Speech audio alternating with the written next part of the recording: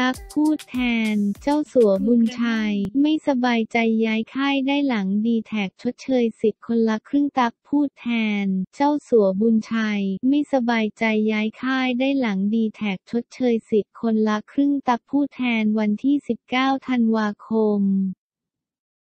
ที่ฟิวเจอร์อารีนาเอเจนด้านนักแสดงสาวตั๊กบงกชคงมาลัยได้ให้สัมภาษณ์ในงานเปิดตัว h e w o n Purify and Anti Hair Loss ถึงเรื่องผู้ใช้บริการเครือข่ายดีแทคที่ไม่ได้รับรหัส OTP จึงไม่สามารถเข้ารับสิทธิ์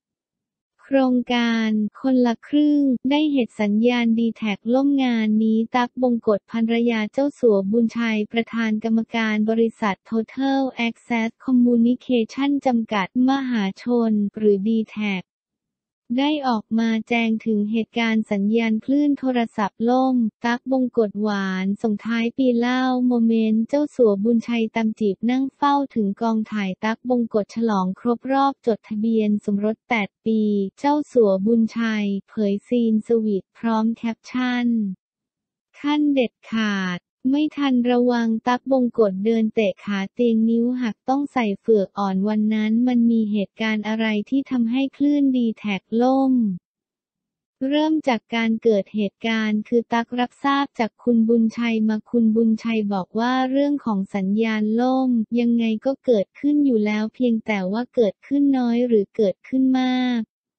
จะบอกว่าเดี๋ยวนี้คนหันมาใช้โทรศัพท์มากขึ้นไม่เหมือนแต่ก่อนเนอะ พอมากๆเข้ามันก็มีการล่มได้ค่ะ จริงๆ คือล่มทุกที่ค่ะ แต่ถ้าไม่สบายใจจริง ๆ คุณบุญชัยบอกเลยว่าเปลี่ยนไม่ใช้ดีแท็กเลยก็ได้ค่ะ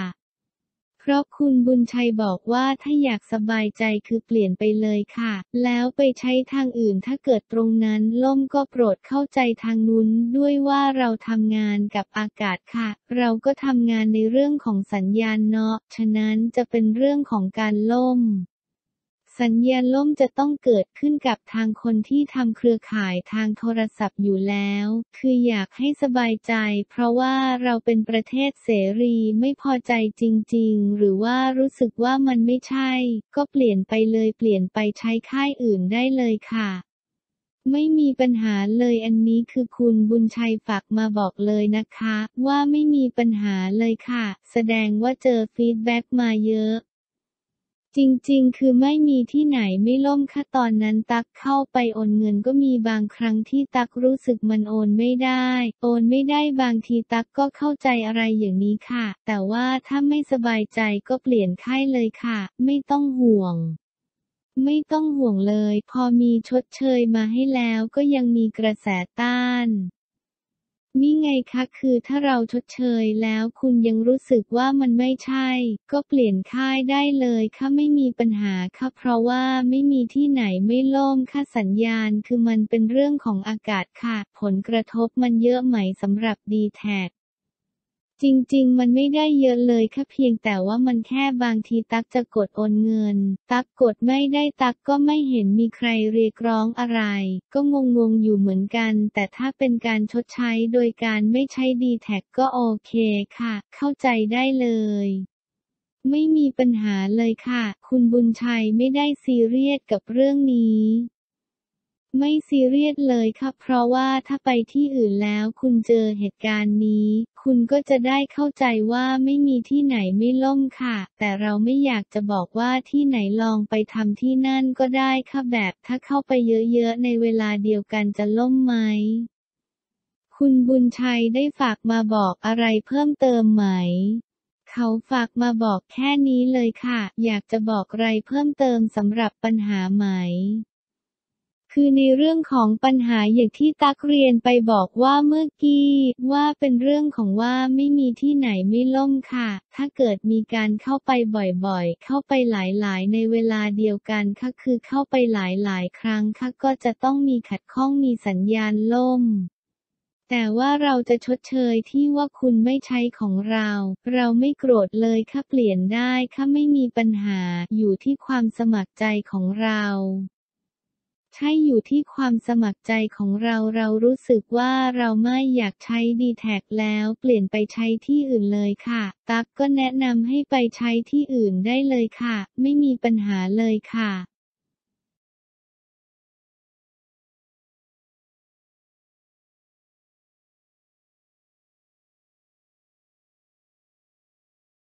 กระแสร้อน อีเรียมซิ่ง วิ่งฉิว 200 ล้านสัญญาณดีหนังไทยไม่มีวันตายอีเรียมซิ่ง วิ่งฉิว 200 ล้านสัญญาณดีหนังไทยไม่มีวันตายยอดรายได้ทะลุเป้าเกินคาดผ่าน 200 ล้านไปเรียบร้อยแล้วสำหรับหนัง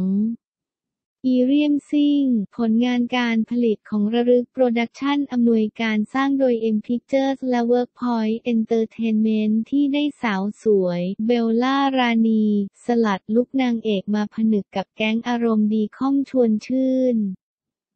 โรเบิร์ตสายควันและบอลเชิญยิ้มมาสร้างปรากฏการณ์ให้กับหนังไทย หลังเงียบเหงาจากสถานการณ์โควิด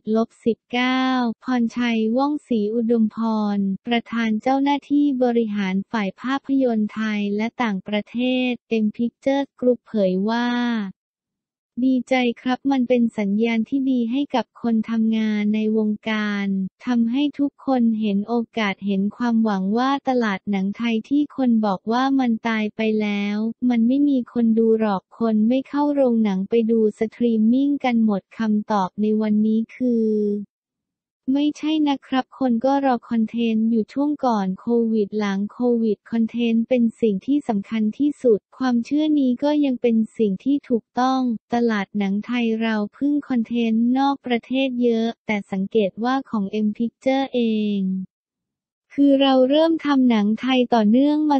2-3 ปีแล้วมีการขยายการลงทุน ภาพยนตร์ไทยอาจจะมีเรื่องที่ประสบความสำเร็จบ้าง ไม่ประสบความสำเร็จบ้าง แต่เราก็เห็นทิศทางการเติบโตของมัน อย่างช่วงโควิด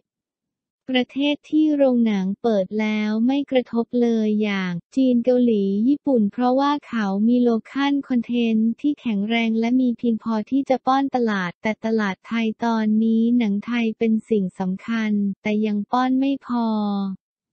อาจจะจำนวนคนทำที่มีไม่มากพอดารามีไม่มากพอก็ต้องเพิ่มทุกอย่างแล้วก็หาคนลงทุนเพิ่ม ซึ่งพอเราทำให้เห็นว่าอีเรียมซิ่งได้เงินก็เห็นว่าจริง ๆ มีตลาดและมีคนดูด้วย โดยเฉพาะตลาดโรงภาพยนตร์ที่ขยายไปต่างจังหวัดเยอะ ตรงนั้นก็เป็นตลาดใหญ่บางทีเราโฟกัสหรือทำเฉพาะแค่กรุงเทพมหานคร แต่จริงๆ มันไม่ใช่ มันมีตลาดที่กว้างทั้งประเทศ ปัจจัยความสำเร็จของอีเรียมซิง ที่ทำเงินร้อยล้านสวนกระแสสถานการณ์โควิดและเศรษฐกิจ big boss เผยว่า ผมว่าปัจจัยหลักๆ เลยมองสามข้อก่อนอันดับแรกทีมงานพี่ตุ๋ยพฤกษ์ เอมะรุจิ ผู้กำกับพี่ยอดเลิกชัยพงเพชรโปรดิวเซอร์พี่กรธนกร ปูลิเวคีนและผมในส่วนที่สองนักแสดงทีมระลึกและทีมนักแสดงน้องเบลล่าพี่โรเบิร์ตสายควันน้าค่อมชวนชื่นพี่บอลเชิญยิ้มที่เป็น support ตัวหลักรวมทั้งแพทนปภาโอ๊ตปราโมททั้งหมดมีผลกับหนังเรื่องนี้ทุกคนที่เข้าไปดูก็รักตัวละครทุกตัว ส่วนที่สามเรื่องของการโปรโมททำให้องค์ประกอบทุกอย่างมันรวมรวมกันแล้วทำให้หนังเรื่องนี้ประสบความสำเร็จ ยอมรับว่าช่วงโควิดมีผลต่อการคาดหวังเรื่องรายได้ ถ้าก่อนโควิดผมมั่นใจช่วงกำลังจะเข้าเมษายังไม่มีโควิดเราวางเป้าเรื่องนี้น่าจะ 200 ล้านขึ้นไป แต่พอเกิดโควิดขึ้นก็ทำให้เราลังเล อย่างมู่หลาน ก็พลาดเป้าแต่ไม่เยอะก็ทำให้เราใจหายรวมทั้งเรื่องเหยลูกเพ่นี่ลูกพ่อรายได้ใจหายเลยเราก็มองว่ามันมีการเปลี่ยนแปลงเรื่องตลาดคนดูหรือเปล่า เลยทำให้เราตั้งเป้าอีเรียมซิ่งลงมาหน่อยประมาณ 80-100 ล้าน แต่พอเปิดตัวมาเฮ้ยมันโอเค วันนี้มันเกินเป้าไปเยอะกว่าที่เราตั้งเป้าเอาไว้ แต่ถ้าพอย้อนกลับไปก่อนโควิด มันก็เป็นตัวเลขที่เราคิดว่ามันต้องเกิดขึ้นจริง ๆ